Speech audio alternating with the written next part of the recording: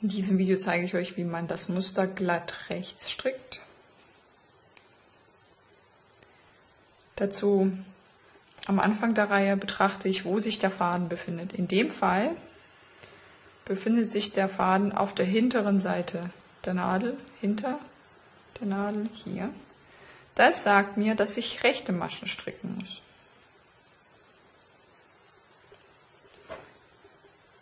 Das heißt, diese Reihe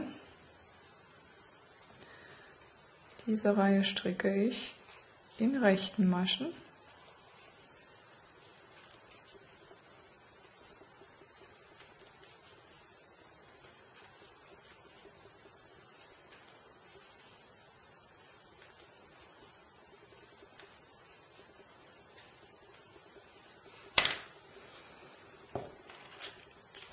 Wenn ich mir das Ganze jetzt nach der Reihe angucke, befindet sich der Faden hier vorne.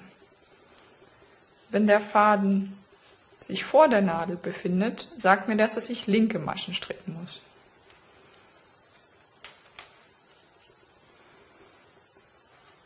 Das heißt, die ganze Reihe werde ich jetzt in links stricken.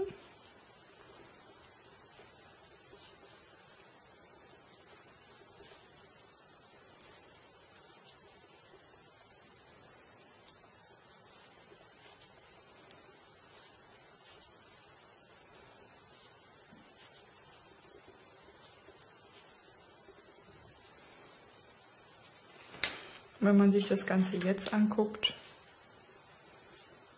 befindet sich der Faden wieder dahinter. Das heißt, die nächste Reihe wäre wieder rechts.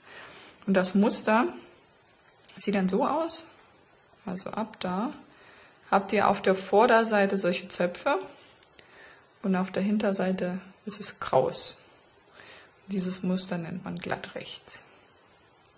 Das ist ganz schön zum Beispiel für Pullover und so weiter.